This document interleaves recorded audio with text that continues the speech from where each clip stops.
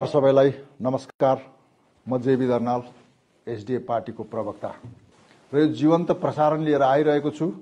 यो एसडिएफ पार्टीको आधिकारिक बयान हो भन्ने म पुष्टि गर्न चाहन्छु। सिक्किममा राजनैतिक माहौल तातियो। अब केही दिन बाँकी होला। अब चुनाव आचार संहिता लाग्नु। अब चुनाव आचार संहिता लागे भए पनि नलागे भए पनि राजनैतिक माहौल तातिएको छ। र अहिले सबै राजनैतिक दलहरूले आफ्नो आफ्नो जनसभाहरू गरिरहेको छ जनतामा जाने कार्यक्रम भइरहेको छ। यस्तैमा सत्ताधारी दल पनि आज पाँच वर्ष काम नगरेर अब चुनावको मुखमा जनतालाई फेरि लटपट्याउनु जनतालाई भुल्याउनु सिक्किमे जनतालाई दिशा भ्रमित गर्नको निम्ति आज समष्टिमा गइरहेको छ। र उनीहरू जनता भेट कार्यक्रम समष्टि स्तरीय सभा भनेर एउटा कार्यक्रम अर्गनाइज गरिरहेछ गरिरहेछ उनीहरूले। तर त्यो कार्यक्रममा जनताको हितको निम्ति भन्दाखेरि सिक्किमको हितको निम्ति भन्दाखेरि सिक्किमको पुरानो कानुनको हितको भन्दाखेरि बढी कुरा भनेको चाहिँ आज उनीहरूले आफ्नो व्यक्तिगत स्वार्थ निजी स्वार्थलाई मात्रै सिद्ध गर्ने र जनतालाई भ्रम बनाउने किसिमका भाषण मात्रै एसकेएम पार्टीका नेताहरूले गरिरहेका छन्। र यसरी नै यस्तो यो भ्रामिक भाषण गर्ने क्रममा एसकेएम पार्टीको नेता मुख्यमन्त्रीको राजनैतिक सचिव अनि प्रवक्ता। जेकब खालिङज्यूले धेरैवटा जनसभाहरूमा ओएफओजेमा काम गर्ने भाइ बहिनीलाई धम्क्याएको ओएफओजेको माथि राजनीति गरेको कुराहरू एकदम सर्वसाधारण जनताले सुनेको छ। र आज उनीहरूले के सो एसकेएम सरकार र यो एसकेएमको नेताले के सोचेको छ भन्दा सिक्किम र सिक्किम चाहिँ यिनीहरूको बाउकै बन्डा हो बाउकै बन्डा हो र यहाँ उनीहरूले जे पनि गर्छन् त्यो आधिकारिक रूपले गर्न पाउँछन् र बल्मी गर्नु पाउँछ भने जस्तो उहाँहरूले आफ्नो चरित्र उदाङ्गो पार देखाइरहेको छन्।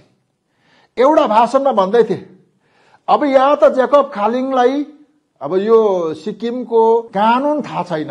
कानुन थाहा छैन र कानुन थाहा छैन भने विधि थाहा छैन भनेदेखि पायो उसले त्यसो भन्न। अब यतिसम्म पनि भयो ल है ओएफओजेलाई चाहिँ अब हामीले रेगुलर गर्दैछौँ र जतिजना अब हामी रेगुलर गर्ने तर अस्ति एउटा के अरे क्याबिनेटको मिटिङमा म पनि बस्ने सौभाग्य पाएको थिएँ र त्यो मिटिङमा चाहिँ त्यो मिटिङमा चाहिँ मुख्यमन्त्रीले जसले एसकेएम पार्टीलाई सघाउँछ र जसले एसकेएम पार्टीलाई भोट हाल्छ उसलाई चाहिँ रेगुलरको अर्डर दिने तर त्यो जसले एसकेएम पार्टीदेखि अन्य पार्टीलाई सघाउँछ अनि त्यो पार्टी त्यो मान्छेको नाम चाहिँ के अरे रेगुलर नहुने उसको चाहिँ खारेज गर्ने पनि हामीले मुख्यमन्त्रीले वचन दिनुभएको छ भनेर भन्छ। हे प्रभु! प्रेमसिंह तामाङ भन्ने मान्छे पिएस गोले भन्ने मान्छेले मुख्यमन्त्रीको चौकी चाहिँ भारत देशभित्रकै एउटा राज्यमा चलाउँदैछ कि यो भारत देशदेखि बाहिरको अरू अन्य कुनै देशमा यसले मुख्यमन्त्रीको चौकी चलाउँदैछ। अनि मुख्यमन्त्री प्रेमसिंह गोले अनि एसकेएम सरकार र पार्टी चाहिँ देशको भारत देशको संविधानले चल्ने पार्टी र सरकार हो कि आफ्नो निजी गोजीको कानुनले चल्ने पार्टी र सरकार हो? यस्तो पनि हुन्छ।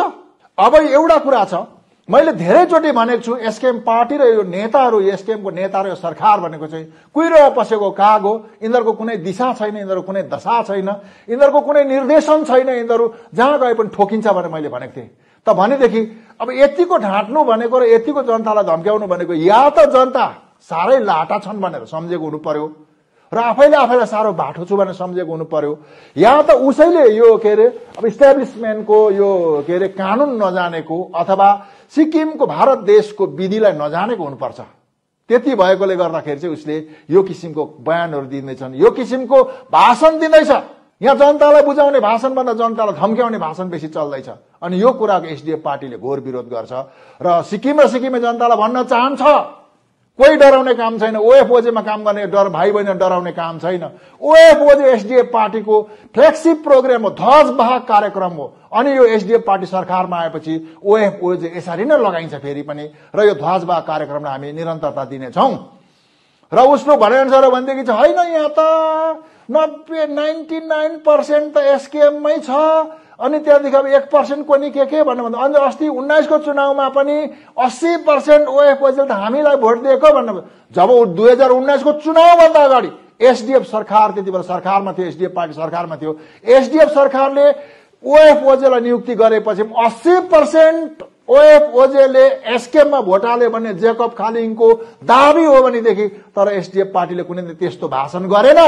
मैले ओएफओजेको नोकरी लगाएको छु तिमीहरूको के अरे भोट चाहिँ एसडिएफ पार्टीलाई दिनुपर्छ भनेर एसडिएफ पार्टीले कहिले पनि दावी गरेन। एसडिएफ पार्टीले सिक्किमको बेरोजगार भाइ बहिनीहरूलाई रोजगार दियो नोकरी दियो। तर नोकरी पाउनु के अरे पढी लेखेको भाइ बहिनीहरूको हक अधिकार हो भनेर एसडिएफ पार्टीले आफ्नो भारत देशको संविधान र आफ्नो मूल्य र मान्यता प्रजातान्त्रिक मूल्य र मान्यतालाई के अरे पालन गरेको छ। भनेदेखि चाहिँ म हिजो मात्रै जेकब खालिङको एउटा जनसभाको एउटा भाषणलाई सुन्दै थिएँ। उनले के भने भनेदेखि सिक्किम र दार्जिलिङ एकीकरणमा चाहिँ अब यो के अरे बा पवन चामलिङको पो दिमाग चल्दैछ कि भनेर भन्यो। त्यो पारिपट्टिको एउटा पार्टीले खुल्ला के अरे दसचोटि भन्दा बेसी के प्रेस कन्फरेन्स गरेर भन्यो। कि हामीले सिक्किमको मुख्यमन्त्री प्रेमसिंह गोलेर हाम्रो ज्ञापन पत्र चढाइसकेको छौँ। हाम्रो के अरे सिक्किमको मुख्यमन्त्रीले हामीलाई ग्रिन सिग्नल दिइसक्नु भएको छ समर्थन दिइसक्नु भएको छ भनेर दसचोटि जति प्रेस कन्फरेन्स गर्ने गोराङका नेताहरू पारिपट्टि अहिले पनि जिउँदैछन्। यदि जेकब खालिङलाई त्यति कुराको सहमत छ भने त्यो के अरे उनीहरूले गरेको प्रेस कन्फरेन्स खोजेर हेर्नु। र गोराङले चाहिँ के अरे अहिलेको वर्तमान मुख्यमन्त्रीलाई दस्तावेज के अरे ज्ञापन चढाएको र दस्तावेज स्वीकार गरेको र आश्वासन दिएको कुरा पनि उनीहरूले भनेको छन् भनेदेखि जेकब खालिङको यदि या त जेकब खालिङको मानसिक सन्तुलन गडबड छ र उनले यस्तो भाषण गर्छन्। कि होइन भनेदेखि अब उनलाई यो के अरे उनलाई सर्ट टर्म मेमोरी लसको बिमारले सताएको हुनु पर्यो गोराङले गरेको के अरे प्रेस वार्ता उनले बिर्सेको हुनु पर्यो र यसरी नै के अरे दार्जिलिङ सिक्किम एकीकरणको मुद्दाको बारेमा यसरी बोल्दै थिए। अनि अर्को कुरा चाहिँ के बोल्दै थिए भन्दाखेरि चाहिँ एसडिएफ पार्टीको अध्यक्ष अथवा पूर्व मुख्यमन्त्री नेपालमा गएर नेपालका ठुला ठुला नेताहरू भेटेको र नेपालका नेताहरू नेपाल र दार्जिलिङ सिक्किमलाई एकीकरण गर्नुपर्छ भन्ने ग्रेटर नेपालको सपना देख्ने नेताहरूसँग उसले बातचित गरेको र कतै पवन चामलिङको दिमागमा चाहिँ दार्जिलिङ नेपाल सिक्किम र नेपाललाई एकीकरण गर्ने सपना त छैन भनेर शङ्का व्यक्त गर्दै थिए। शङ्का व्यक्त गर्नु पर्दैन। यो दुई राज्यको कुरो होइन यो दुई देशको कुरा हो। अनि यो के अरे एसकेएम सरकार आज सरकारमा छ। यदि पवन चामलिङले नेपालमा गएर नेपाल र दार्जिलिङको एकीकरण गर्नुपर्छ नेपाल र सिक्किमलाई एकीकरण गर्नुपर्छ भन्ने कुराको षड्यन्त्र गरेका छन् छलफल गरेका छन् र यो कुरामा गोप्य सभाहरू गरेका छन् भने भारतको खुफिया तन्त्रले खुफिया विभागले के हेर्दैछ? भारतको गृह विभागले के हेर्दैछ? अनि सिक्किमको के अरे गृह मन्त्री पिएस गोले गृह मन्त्रीले के हेर्दैछन्? अनि एसकेएम सरकारले के हेर्दैछ तुरुन्तै भन्दा तुरुन्तै पक्री भन्ने म एकदम एकदम च्यालेन्ज गर्न चाहन्छु। चुनौती दिन चाहन्छु। होइन भनेदेखि सिक्किम र दार्जिलिङ अथवा सिक्किम र नेपालको एकीकरणको कुरा गरेर जनतालाई भ्रमित पार्ने नगर्नु।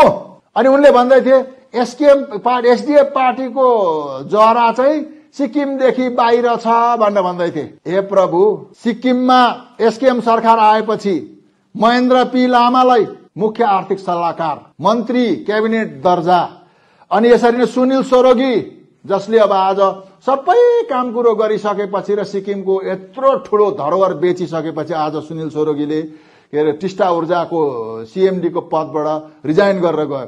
भनेदेखि त्यसरी नै विवेक कोहली जसले सिक्किमको थ्री सेभेन्टी वान एफले सुरक्षा दिएको कानुनलाई तस नस गरेर सबै जाने बुझी सरसल्लाहमा सुप्रिम कोर्टमा केस हारेपछि आज विवेक कोहलीले आफ्नो पदबाट के अरे एजीको पदबाट रिजाइन दिएर गयो। भनेदेखि नै आज सिक्किमको प्रत्येक कार्यक्रममा दार्जिलिङको विधायक निरज जिम्बालाई स्टेजमा देखिने गरिन्छ। स्टेजमा देखिने गरिन्छ अनि सिक्किमका मुख्यमन्त्री पनि दार्जिलिङको प्रत्येक कार्यक्रममा गएर निरज जिम्बासँग बसेको देखिन्छ भनेदेखि चाहिँ एसकेएम पार्टी खोल्दाखेरि त्यसको शुभेच्छा पढ्ने लेखिदिने मान्छे पनि यो शुभम प्रधान भन्ने बाहिर दार्जिलिङको मान्छे हो। र यसरी नै अर्को अहिले खरसाङका विधायक उनले एसकेएम पार्टी खोल्दाखेरि सबै कुरा चाँचो पाँचो मिलाउने र हिजो अस्ति भर्खरै मात्रै पनि उनको एउटा के अरे भिडियो सार्वजनिक भएको छ भिडियो लिक भएको थियो। कि अब कसरी दार्जिलिङ सिक्किम एकीकरण गर्ने कुरामा चाहिँ के के गर्नुपर्छ भन्ने कुराको भिडियो लिक भएको थियो भने यो जम्मै कुराको जानकारी या त जेकब खालिङलाई छ या जेकब खालिङलाई हुँदा हुँदै पनि उसले यो यो कुरालाई उसले के अरे त्यसै नजरअन्दाज गर्दैछ। र खरसाङको विधायकको बारेमा गोजामुमोका अध्यक्ष विमल गुरुङले रम्फूमा दिएको भाषण पनि जेकब खालिङले सोधेर खोजेर सुन्दा हुन्छ। के भनेको छ विमल गुरुङले भन्ने कुरा? र यसरी नै दुई हजार उन्नाइसको उपचुनावमा बाई इलेक्सनमा बाहिरको पार्टीलाई दुईटा सिट बेच्ने को? एसकेएम पार्टी होइन जसले दुईटा सिट बेच्यो। अनि अहिले आएर राज्यसभाको एमपी पनि बेच्यो होइन बाहिरकोलाई। यदि एसकेएम पार्टीमा सिक्किम र सिक्किमे जनतालाई माया गर्थ्यो र सिक्किम र सिक्किमे जनताको अभिभावक हुँ भन्ने कुरा लाग्थ्यो एसकेएम पार्टी र सरकारलाई भनेदेखि राज्यसभाको के अरे सदस्य आफ्नो पार्टीबाट पठाउँथ्यो नि त यो पनि बेच्यो होइन अनि यहाँ एकदम बजारमा हल्ला छ अहिले थाहा लाग्दैछ अब लोकसभाको सदस्य पनि पो बाहिरकोलाई बेच्छ अरे भनेर सुन्दैछौँ हामी अब धेरै टाढो छैन डेढ महिनाभित्र दुधको दुध पानीको पानी हुन्छ एक महिनाभित्र दुधको दुध पानीको पानी हुन्छ सबै नाङ्गोझार हुन्छ त भनेदेखि यस्तो दोहोरो चरित्र भएको पार्टी नेताले आजसम्म सिक्किम र सिक्किमे जनतालाई के कुरा चाहिँ भलो गरेको छ के कुरा चाहिँ सिक्किमको हितमा काम गरेको छ भनेदेखि प्रत्येक दिन एसकेएम पार्टी सरकारमा आएपछि त प्रत्येक दिन सिक्किमको विरुद्धमा काम गरेको छ सिक्किमको पुरानो कानुनको विरुद्धमा काम गरेको छ सिक्किम र सिक्किमे जनताको विरुद्धमा काम गरेको छ भनेदेखि चाहिँ यसरी नै एसकेएम पार्टीले सिक्किम र सिक्किमे जनतालाई सताउने काम गरेको छ। यदि एसकेएम पार्टीले आज बाइस हजार मान्छेलाई रेगुलर दिए गर्छु। नोकरी दिन्छु भनेर भन्छ भनेदेखि चाहिँ। अनि सबै सिक्किमको जनतालाई हामी नोकरी दिन्छौँ भनेर भन्छ भनेदेखि चाहिँ मुख्यमन्त्रीको जनता भेट कार्यक्रममा भेला गरेको लगभग तिस बोरा एप्लिकेसन छ। बित्थामा नौटङ्की गर्यो। बित्थामा नौटङ्की गरेर म के अरे बाइस घन्टासम्म जनता भेट्यो। आमामामा ऐतिहासिक एकदम मुख्यमन्त्रीको जनता भेट कार्यक्रम भन्यो त बाइस घन्टा जनता भेटेर भेला गरेको एप्लिकेसनमा बाइसजनाको काम भयो। बाइसजनाको पनि काम भएको छैन। सिर्फ त्यो के सिक्किम र सिक्किमे जनताको आँखामा छारो हाल्ने काम भएको छ। सिक्किम र सिक्किमे जनतालाई दुःख दिने काम भएको छ। त भनेदेखि चाहिँ त्यो काम गरेर देखाउ न अनि हामी पत्याउँछौँ। त भनेदेखि यसरी भ्रम फैलिएर नोकरी दिन्छु भनेर भन्दैछ। अनि आज दुई दिन दुई दिन मात्रै भयो। सिक्किमको चारजना भाइ बहिनीहरूको नोकरी खायो। एसकेएम सरकारले चारजना के अरे यहाँ पाक्योङमा काम गर्दै गरेको जेईको नोकरी खायो जोरथाङमा एसएमटीमा काम गर्दै गरेको एउटा सानी बहिनीको नोकरी खायो अनि यसरी नै माथि के अरे रिन्चनमुङ कन्स्टिट्युन्सीमा काम गर्दै गरेको एकजना बहिनीको नोकरी खायो त भनेदेखि यो जनता विरोधी गरिब विरोधी सिक्किमे जनता विरोधी यो सरकारलाई यो पार्टीलाई अब सिक्किम र सिक्किमे जनताले चिनिसकेको छ। र सबै कुरा चिनिसकेपछि आज अनि म अन्तमा एउटा कुरा भन्छु चिनिसकेको छ र सिक्किम र सिक्किमे जनतालाई यसलाई यसलाई फ्याँक्ने सिक्किम र सिक्किमे जनताले संकल्प गरिसकेको छ। सिक्किम र सिक्किमे जनताले मन बनाइसकेको छ। यदि एसकेएम सरकारले पाँच वर्षको अवधिमा सिक्किमको पुराना कानुन र सिक्किमको पुरानो हक अधिकार जम्मै बेचेर खायो खायो तर सिक्किममा कहीँ एकमुठी गिटी बल्ल माटो टिपेर कहीँ टाँस्यो एउटा सडकको मेन्टेनेन्स गर्यो। गर्नु सकेन। र त्यो जम्मै कुरा नसकेपछि आज फेरि यहाँ जनता मेलाको कार्यक्रम आउँदैछ। म अघि बिहान मात्रै देख्दै थिएँ जनता मेलाको त्यो कार्य के अरे तालिका मैले देखिरहेको थिएँ कार्यसूची देखिरहेको थिएँ मैले डेटहरू देखिरहेको थिएँ भेटहरू देखिरहेको थिएँ। यही जेकब खालिङ हो उसले भन्थ्यो ल है अझ चुनाव पनि आएको छैन यी उन्नाइसमा सरकार गठन गरेको यी हामीले त उन्नाइसमै हामीले त डङ्की डङ सहुलियत बाँड्यौँ भनेर जनताको आँखामा छारो हाल्यो ढाँट्यो। त्यति बेलाको त्यो घर बनाउने पैसा सिएमआरएचएमको पैसा पूर्व सरकार एसडिएफ सरकारले सिक्किम के राखेको पैसा उनीहरूले त्यो त्यो काम बाँड्यो। एसडिएफ सरकारले राखेको ल्यापटप बाँड्यो। एसडिएफ सरकारले राखेको चादर बाँड्यो। अनि त्यति बेला भन्दै थियो यी चुनाव पनि आएको छैन हामी त सहुलियत बाँड्दैछौँ भनेर भन्यो। यदि जनताप्रति इमान्दार थियो भने आज भन्दाखेरि के अरे वर्षै पछि एसडिएफ पार्टीले यस्तो जनता मेला लगाएर यो सहुलियत बाँड्नु पर्थ्यो। तर आज पाँच वर्षमा एक खेप जनता मेला लगायो तर अब कि जब कि अब दस बाह्र दिन मात्रै छ सिओसी लाग्नु भनेदेखि त्यो जनताले न त्यो जनता मेलाको सहुलियत उठाउनु पाउनेछ र न न स्टोरमा केही सामान छ।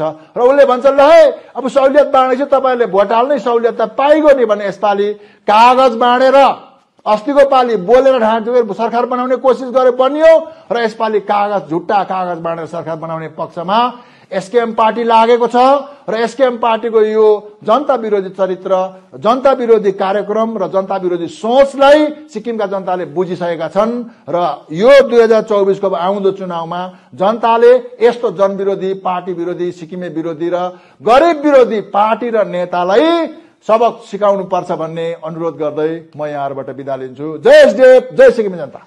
Kamati health care and diagnostics centre, आपका स्वास्थ्य, हमारी ज़िम्मेदारी। अब नया चिकित्सा केंद्र, जहाँ बेहतरीन डॉक्टरों द्वारा उच्च स्तरीय देखभाल मिलेगी। Internal medicine, gynaecology ENT cardiology gastroenterology dermatology general surgery सभी यहाँ है हमारे यहाँ एक उच्च स्तरीय डायग्नोस्टिक सेंटर है जिसमें नवीनतम उपकरण है और उचित कीमतों पर सेवाएँ प्रदान की जाती हैं। स्वास्थ्य जाँच पैकेज के साथ colour Doppler study pathology services ultrasound ECG digital X-ray EEG आदि उपलब्ध है हमसे मिले Kamati health care near Viga Circle Mall, opposite Mahindra Showroom, Siliguri. Contact 9134343404.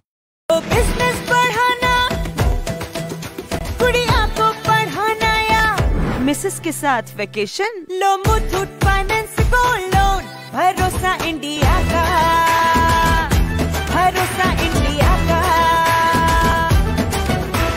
Muthoot finance Bharat का नंबर वन सबसे भरोसेमंद financial services brand gold loan के लिए अभी कॉल करें one eight hundred three one three one two one two